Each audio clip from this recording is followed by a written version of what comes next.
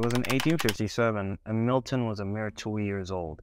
His family knew the harsh stink of poverty all too well. His mother, unemployed, his father, chasing elusive dreams of wealth through oil. But fortune, like the oil they sought, slipped through their fingers, leaving them poorer still. By the age of seven, Milton found himself assisting his mother by selling chickens and eggs on the farm, while his father attempted to cultivate crops for sustenance. Despite their efforts, the strain of poverty took its toll, and Milton witnessed his parents' relationship deteriorating. Eventually, his father abandoned the family in pursuit of yet another scheme. It is winter 1867, and times will get even worse for the family.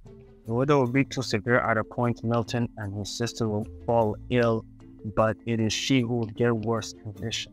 It was found that Milton's sister was suffering from scarlet fever, a disease that claimed a lot of children's lives at the time, and she was no exception.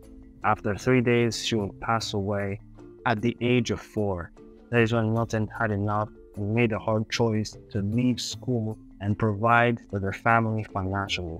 At the age of 14, he landed a job at the printing factory, but Milton ended up not liking the job because for four months, he either would get screened by his boss or he would work overtime. What's even worse is that his father proposed to him the idea of landing a job in a printing factory. So he got fed up and decided to drop his hat on one of the printing machines, causing a malfunction and also leading to his dismissal. Surprisingly enough, his mom supported him all the way because she was done with his father's scheme. Stepping into the world of candy, Milton found solace and purpose. From behind a cash register to mastering the art of candy making, he honed his skills and embraced the sweet symphony of possibility.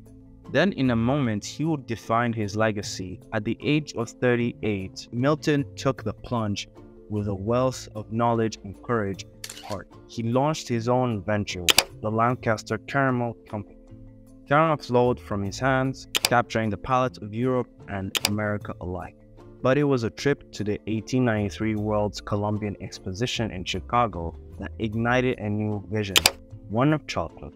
So he decided to sell the Lancaster Caramel Company for $1 million, in which he used to build his other company, in which we know as the famous Hershey Company today.